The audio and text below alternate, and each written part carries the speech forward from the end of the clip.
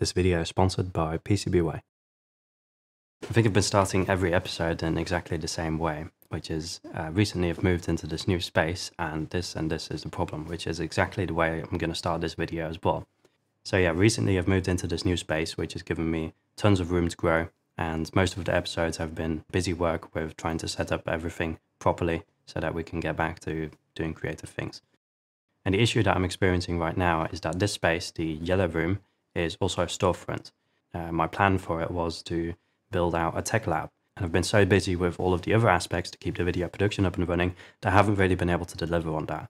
So to actually make it look like a proper tech lab, we also need to sort out the lighting conditions. The only lighting I have in the space is video production lights, and I can't just keep those running 24-7. And I was looking on Pinterest for lights, and I came across this really intriguing design which would fit the space perfectly once it's all finished and it actually looks like a tech lab. The thing with this light is uh, it's designer and it looks really great, but it's a thousand euros, and that's way outside of my budget. So I wanted to set out to create something similar and eventually I came across these tube lights from Green Ice, and I just have a cable on one side, and it looked quite decent. So I thought to myself, let's do a one day build video, combine two of these tube lights and add some 3D printed components in the middle, so that we have a baseline design for all of the lighting in this space.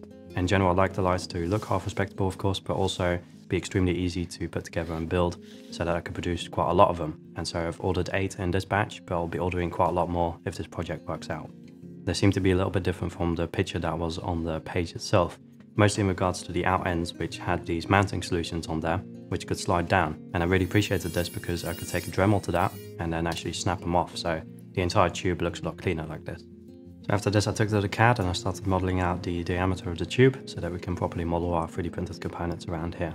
And I've recently upgraded to this 13 inch iPad Pro instead of the 11 inch that you've been seeing for well, pretty much every single project on the channel and the experience has been so much better in modeling stuff out on the channel right now. So if you're deciding between getting an iPad Pro 11 inch and an iPad Pro 13 inch, I can highly recommend going for the 13 inch. And I've actually been thinking of doing a full video where I compare both of them. So I still have the 11 inch uh, M1 and now have that 13 inch M5. And also in terms of performance, I'm really curious if the M5 can now handle a lot more 3D scans in Shapr3D, for example.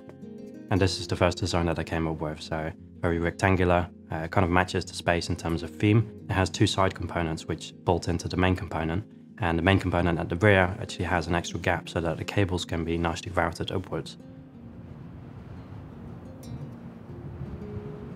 So I 3D printed this one on the X1C, and that first test component came out looking really decent. I thought this one would work straight away, but as soon as I put in the cable and put in the bolt that would squeeze the cable and hold it in place, I noticed that there wasn't enough like hold fast on the bolt itself. So we needed to go back to the design process, implement a feature where there's a nut in place so that the bolt doesn't slip its threads. Now, if you don't have a 3D printer or you'd like to make some higher end components, you can definitely check out today's sponsor, PCBWay. So PCBWay is a really high end manufacturing service which allows you to do PCB production and assembly, CNC machining, sheet metal fabrication, injection molding, and of course also 3D printing. So you can just upload the files, you get an instant quote for what something is going to cost, and a couple days later those components arrive in your mailbox. So in terms of this project, it would have been really neat to send these off to PCBWay and 3D print them in a clear resin, for example. So I definitely check them out. I left the link in the description down below, and special thanks to PCBWay for sponsoring this project. In general, the entire design that I came up with in the end is really quite crude. I imagine it more like, you know, if you look at this light in the corner of your eye, then it looks half decent. If you look too closely, it's not going to look good at all. But you know, it's, it's a light. It's not something you'd be inspecting a whole lot.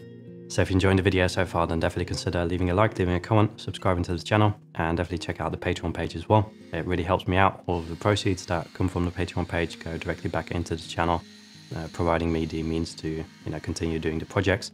And I also really appreciate the feedback in the comment section. So definitely let me know if you have any ideas for the lighting situation in this space. I'm definitely not an expert and I'm having some trouble with it, as you can maybe tell. So video lighting, I really enjoy that, but actually lighting a space and actually making that feel decent and cozy and nice to look at, for some reason it just does not click with my brain and it doesn't work out too well.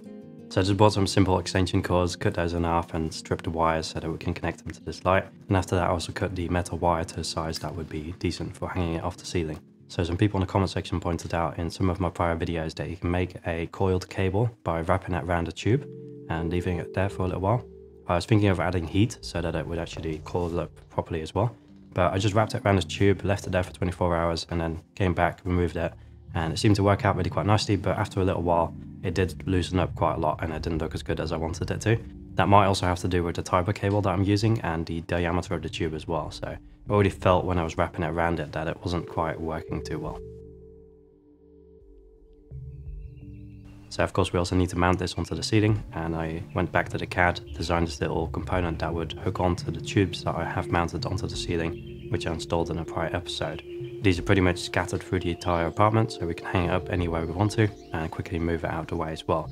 And these work in exactly the same way as the ones that are mounted onto the light with a little bolt that clamps onto the wire and that way you can adjust them as well. I'm also really open to hearing in the comment section how you would design a part like this as well. I think my design in this particular project was really quite crude. I have noticed though by taking stuff apart like drills and other electronic components that a lot of stuff in this world is really quite crude so I'm not sure if that's necessarily a bad thing. But sometimes I feel like I'm missing some amount of knowledge in this regard. So here's the first iteration. I really just wanted to check out what it would look like and I placed one of the holding components in the middle of the light, which made it seem really quite nice in my opinion, like it's uh, balancing a little bit. In general, I really like the look of it, but there's certain components that really need some work, like cables at the back, they need some kind of shell or holder to hide the connection point over there as well. And I started off by measuring the cables, so two of these are 6 millimeters and the top one was 8 mil. I went to the CAD software and I created a little backplate which would hold on to the metal cable, and in that way it would also keep the cables neatly organized. At first I thought this little box design could add to the design aesthetic in the hall. Uh, in the end though, I think it might have been better to actually route the cables properly and put the proper extensions in place by unbolting the back of the lights and attaching a longer cable to that instead of connecting the wires together.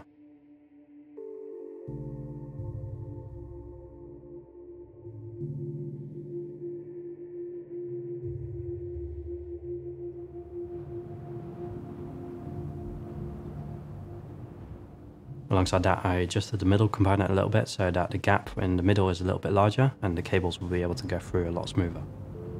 You also see that the print orientation is quite important on these components. So in this case, the print orientation isn't the same on all of the components and you can definitely see a difference over there as well. And I have actually thought about laser cutting the components out of multiplex to make the entire design a little bit more aesthetic which might also fit in the space because most of the desk setups in here are laser cut. So the two cables from the rear of the light actually squeeze all the way through the back end of the component and then I squeeze them together with the main wire, and use some tape to wrap that all up and then put them inside of the enclosure, inside of that little box. In terms of the end result, I think we can really work with this and if we have a couple of these lights set up, we can probably make something really neat out of this space. Now, of course, this is the first iteration, so I'm wondering how we think about it two weeks from now.